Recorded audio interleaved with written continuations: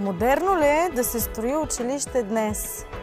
Защо е важно менеджмента и предприемачеството да вървят ръка за ръка в образователната методика още от ранна детска възраст?